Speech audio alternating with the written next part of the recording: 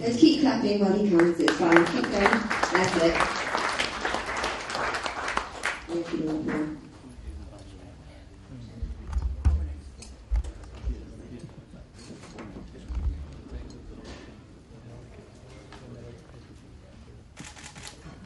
Our hostess, Deputy High Commissioner,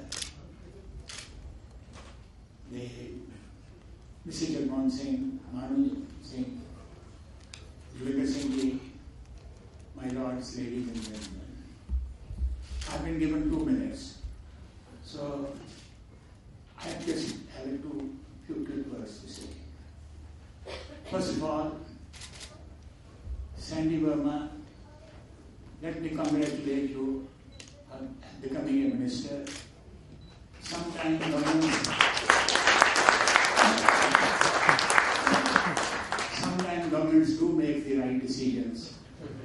and he couldn't. The prime minister couldn't have made a better decision. And I look forward to see your promotion. And one thing I can tell you that you are one of the most loved baronesses on all sides of the house. The Deputy High Commissioner, we are delighted to see you. This is the first time I am on a public function where you are present. We welcome you to Britain.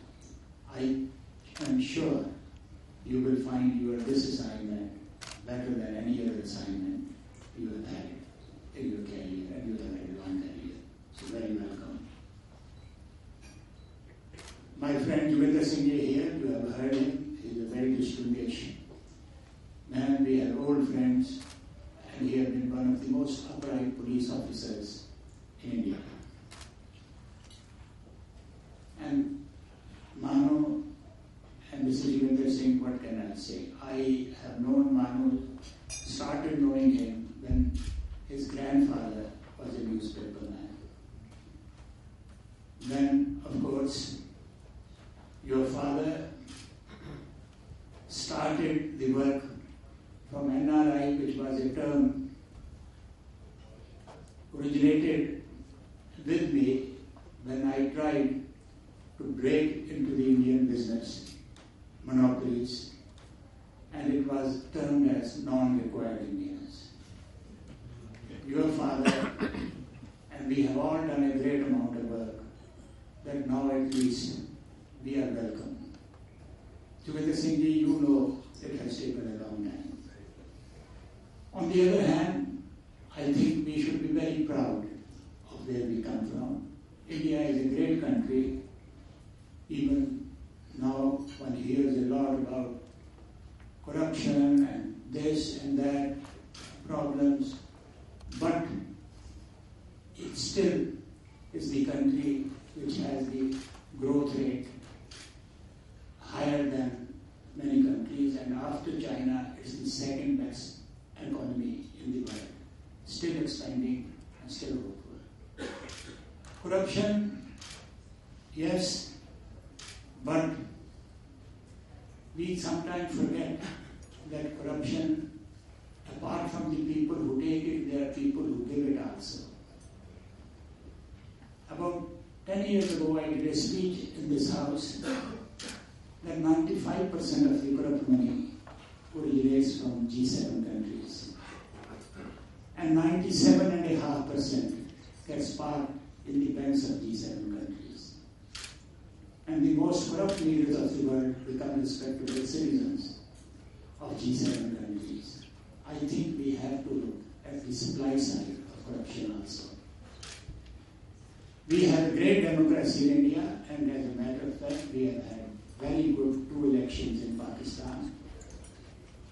They, they have Bangladesh, where have been the elections. We have Sri Lanka, where that has been inspired.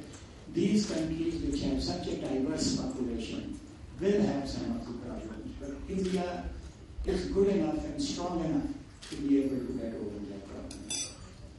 And I have always maintained here in my speeches and this thing that India and Pakistan can solve their issues themselves if the foreign countries did not interfere.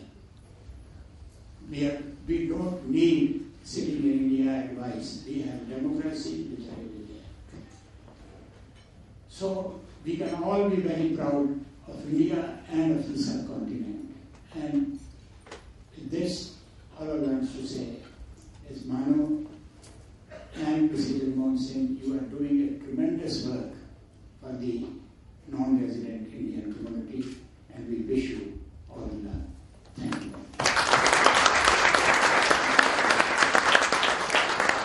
Please keep clapping while your call makes your way back. Now I'm going to invite uh, Lord Ahmad of Wimbledon up to the lectern. Give him a clap, don't be shy. Keep going. There you go. Well, good evening, assalamu alaikum, namaskar, and sat Sri I suppose in my starting, um,